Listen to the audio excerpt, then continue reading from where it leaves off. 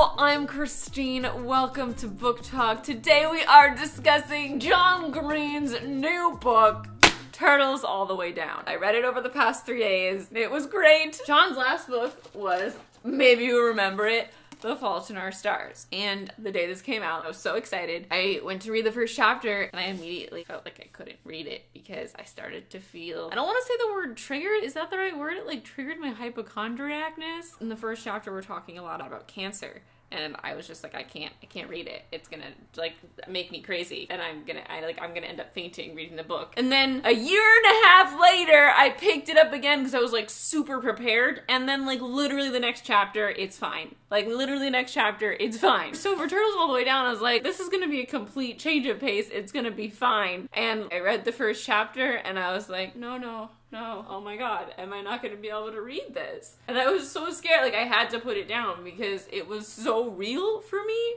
reading Aza's thought process. So much of this book, like I, I I've had thoughts just like this. Like sometimes I'd have to take a break because I don't want to like it's everything I try not to think about. I found Aza's mental state to be like a much more intense version of what I deal with. There were so many moments where I was reading this and I just was like shook. All you really need to know going in is that Aza is a teenage girl. She's a junior in high school who's struggling with OCD. There's this billionaire Davis and his dad is kind of a criminal and he's gone kind of missing, and her and her best friend take it upon themselves to try to solve this mystery. Like all John Green books, you can hear John in it. I couldn't not hear him just saying everything. like I feel like I've, heard him say these exact thoughts in his videos, so I know this is like a very personal book for him, and it just makes everything even more real. In the beginning, it was like hard for me to imagine Aza as a girl because John's voice was so strong in it. And then as we went on, as the book developed and we saw more of Aza as a character, I started to find her voice um, and hear her when I read her words. I really enjoyed this book. I got emotional a lot. I ended in tears on the plane because I was reading it on the plane. Of course I was. This is getting so old. Christine, you read everything that makes you cry on a plane. I'm trying to decide where it falls on the John Green book scale for me. I used to think Paper Towns was my favorite John Green book, but like the more I think about it, I'm like, was The Fault in Our Stars my favorite John Green book? I think it's just been too long since I read Paper Towns. I still think Paper Towns was my favorite John Green book,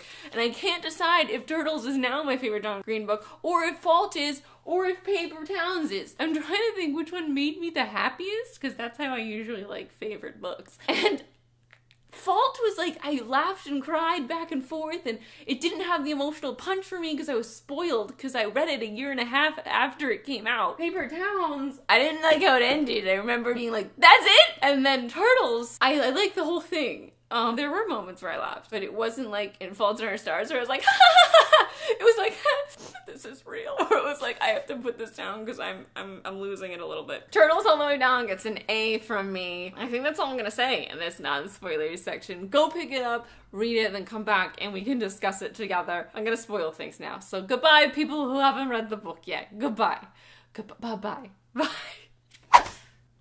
Okie dokie. Turtles all the way down. I'll begin where I ended, thinking about how this could be turned into a film. This isn't really a filmy book. It's very internal. We're inside Aza's head all the time. And that's really where the struggle is. And to make it into a film, some creative shit would have to happen. And it could be really interesting and different, but it would not be your typical, like, YA contemporary adaptation. The first chapter is where I think we get the most intense look inside Aza's head because we're thrown right in there. Immediately, I was thrown into my head just like reading in her head. I had to skim all the parts where she started talking about C. diff. I like I don't even know what it is because I like was just like, oh the disease, skip. I can't I can't like focus in on that stuff because I'm gonna start focusing in on it. I don't even know how to explain my feelings here. I, I just I felt for her and I hated those parts where she like couldn't control where her thoughts were going and hearing her turn all those feelings into these very beautiful, very sad metaphors just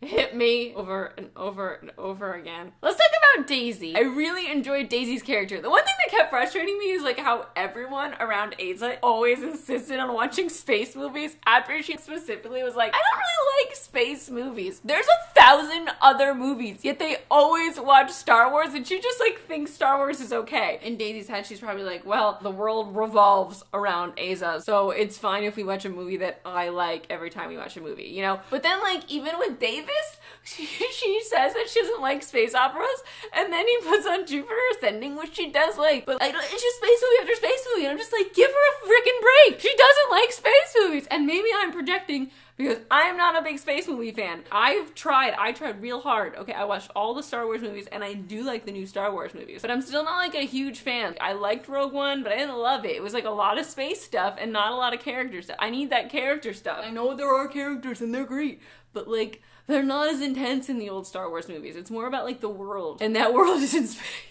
Okay, I'm gonna stop talking about space movies. Like, I feel you on the space movie stuff. I love that Daisy writes Chewbacca Rey fanfiction. I love the way that ended up being integrated into the plot. Her stories clearly reflect things that are going on in her life, and when Aza starts to read them and see the character that's her, I mean, it hurts so much to watch that. It hurts so much every time Daisy makes a comment like that. I understand what she's saying, but at the same time, it hurts to hear it over and over and over and over and then read it.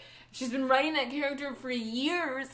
Those paragraphs at the end that were like told from future Aza really got me. It's getting me right now thinking about it because I just read it a couple of hours ago when she was talking about how she and Daisy are still friends now and the longer they were friends, the deeper their friendship grew and all that stuff about having a family. I just, it was just.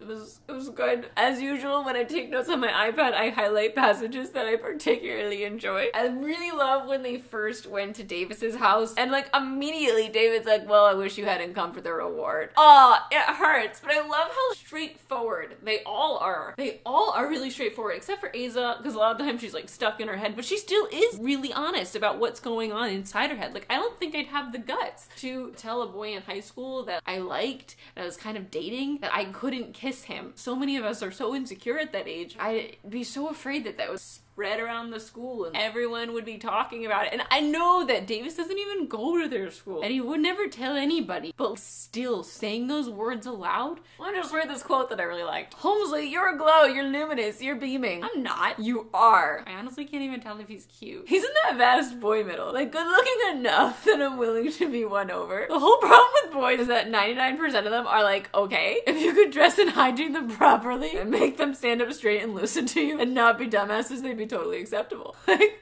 the kissing thing was repeatedly leaving me shook. The first time, when she started kissing him and then started freaking out, that felt like super real and close to home. Aza goes into this microbacterial thought spiral, which is like you have to do lots of research to learn about. I have this strict ban on from myself from researching anything related to that shit because I know that I can't my mind will just go crazy and I can't I don't want that. I don't let myself do it. When I do let myself do it cuz like sometimes I just I can't stop myself from googling stupid disease shit when I have like some random ache or pain. I either go one way or the other like total crazy town like somehow I invent that this is happening to me or like it's I'm completely wrong with what I thought might be happening because like there's immediate like big symptom that I don't have, which is nice. But most of the time it's the other way. The internet has so much that you don't want to look at. Just don't look at anything ever. That's my that's my motto.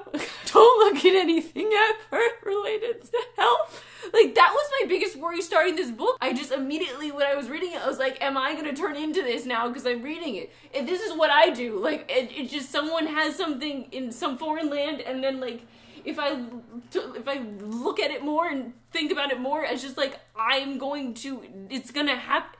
I don't even want to talk. I'm sweating talking about this. I can't talk about my thought spirals. So the first time it was like, yeah, hashtag relatable. The second time she freaks out and she runs to the bathroom and she's thinking about like the hand sanitizer. I was like, no, no, mouthwash. But when she like takes the Purell and swallows it, I had to put down the book for a second. It just it uh, hurt my heart. I just I needed her to tell someone, and she never told anybody.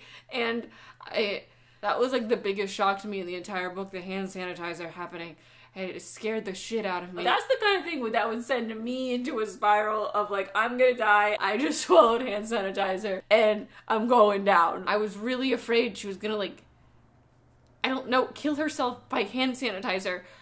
I don't I don't know. I was really I don't know. I don't know. I. I, Let's stop talking about this. I love that the parts where Aza was stalking Davis online. Like, it was so natural. Like, didn't even bat an eye at it. It's like, yeah, this is what we do. And I haven't seen that really in a book before like this. She reads this quote off of Davis's blog He who doesn't fear death dies only once. And I stopped right there and I was like, that is so real. It takes me straight back to Kaz Brekker in the Six of Crows trilogy. If you read it, you know what I'm talking about. And then, like, a second later, she's like, for the record, he who does fear death only dies once too. But I'm over here like, no, Aza, I'll need just that. This is metaphorically on point. She also reads this blog post where he goes, I think this is goodbye, my friends. Although, then again, no one ever says goodbye unless they want to see you again. What a great sentence. When we wrapped around the end, and that was the sentence that we ended on, I was already crying, but like, I was more crying. Authors like John Green, they write these perfect sentences, and then you're sitting here working on your own book, and all of a sudden you feel like all your sentences are like wannabe sentences.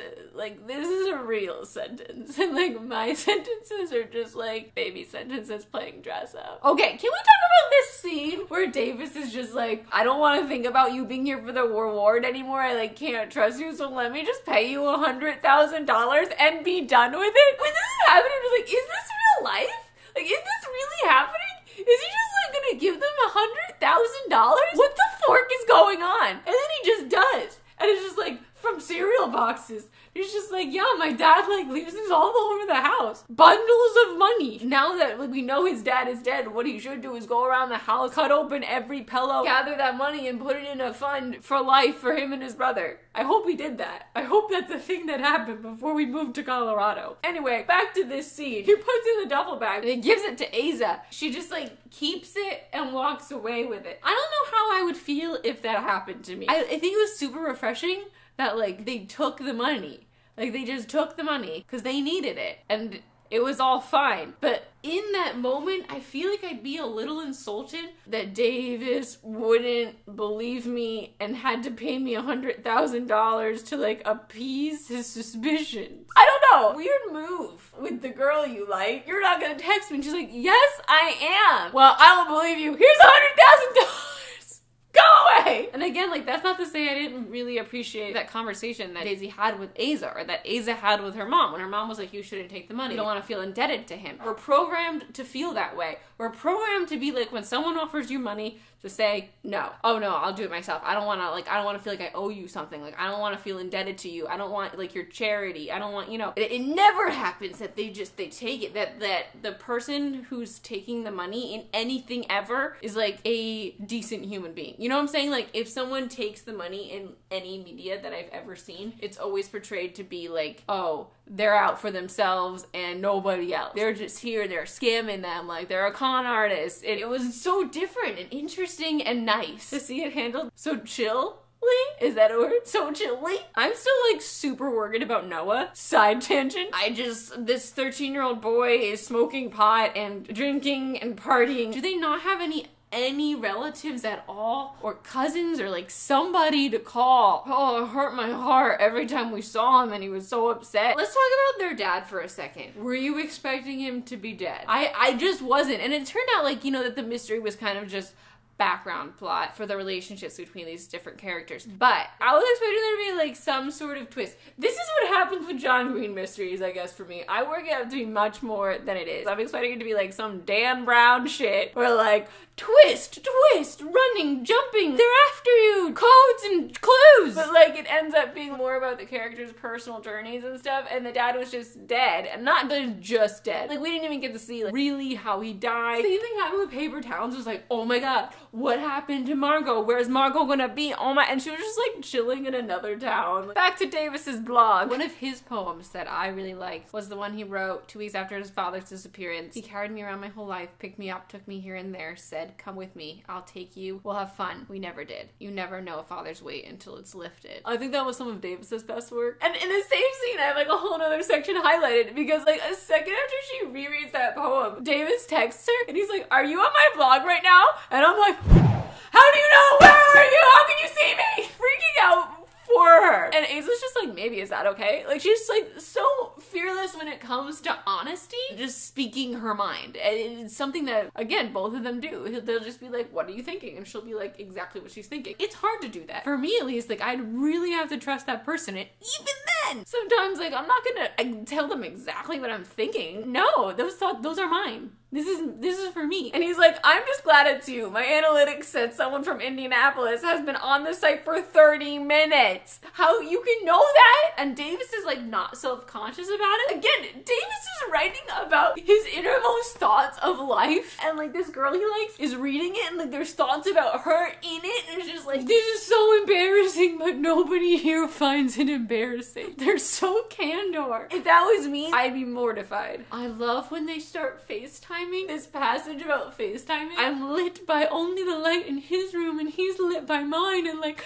this like super in-depth thoughtful paragraph about FaceTiming in the dark with someone you like was just so John Green. I mean like obviously the whole book is so John Green. It was on page 198 when she said looking for anything that might connect to Jogger's mouth or a jogger's mouth. I was like, oh, it's the mouth of a river. Because we spent so much time talking about that river in the beginning. There's a mouth on a river and it took them the whole rest of the book to figure it out. It's like, guys, river Mouth Mouth River. Check that out. Nobody did. No one listens to me when I talk to text. Another thing that really, really hurt my heart was when Daisy and Aza were kind of fighting, and she said that Michael once said that you're like mustard, great in small qualities, but then a lot of you is a lot. That hearts. The last thing I have here that I highlighted that really hit home for me in particular is when she was thinking about how she's gonna function by herself. She thinks about going to college and she's like, if I can't even function here, how am I gonna function all alone in another state in college? Like, how am I ever gonna be an adult? I could never become a functioning grown up like this. It was inconceivable that I'd ever have a career. In job interviews, they'd ask me, What's your greatest weakness? And I'd explain that I'll probably spend a good portion of the workday terrorized with thoughts I'm forced to think, possessed by a nameless and formless demon. So if that's gonna be an issue, you might not wanna hire me. I've had those same thoughts about like if I like fate listening to someone talk about, you know, I don't even wanna talk about it because I don't wanna get worked out. But like if I faint when someone's just talking about this, or like would I go to the doctor? Like how am I gonna be alone? How am I gonna live by myself? How am I gonna do anything alone? Like I had those thoughts when I was going off to college. I had those thoughts when I moved from New Jersey to California. Like, ugh, you can't let those thoughts stop you from living. Just like future Aza says, you're gonna get through this. There are always gonna be ups and downs, and you're not always gonna be down. You can't let the fear of being in one of those down places stop you from ever doing things. In general, Turtles All the Way Down it had me feeling very reflective a lot. I've never had a word for like what goes on when I get caught up in these feelings and these thoughts. And it wasn't until like John said a thought spiral. He like mentioned it in a video and I like latched onto that because it was exactly what happened. Like it, it, was the perfect metaphor. I have trouble talking about these things. Like talking about them spins me into the spirals. I'm having so much trouble trying to share like my personal thoughts along with what's going on with Aza and I'm sorry. I have this like overwhelming desire to master my own mental health because I have this overwhelming aversion and anxiety when it comes to like seeing any doctor. I thought that I was fine with like the eye doctor, but last month she put the stupid drops in my eyes and I started freaking out and I couldn't stop thinking about like I I, I don't even want to talk about what I was thinking, but I, it was so embarrassing. I hate it. I, I ended up like curled up on the floor, just being like, "Just I need a minute. I just need a minute. I, I could I could do this. I could stop it. I knew I could stop it, but I knew it was gonna take me like a good 10 minutes to like breathe through it on the floor with my head between my knees. Well, why was I talking about this? This book talk is like 50% Christine discusses the book, 50% Christine tries to share how it personally relates to her life, but just ends up babbling about nothing and sweating profusely. I too have anxiety. I too have thought spirals. And I'm sure a lot of you do too, and I'm sure a lot of you really found this to be an emotional, relatable book. And I think it's written beautifully, and I'd love to hear anything that you'd like to share, any thoughts on the book. Let's talk about it in the comments. My name's Christine. I make videos every Tuesday. If you want to follow me on Twitter or Instagram, I'm at xtinemay. Thank you so much for watching. I will see you next time. Goodbye!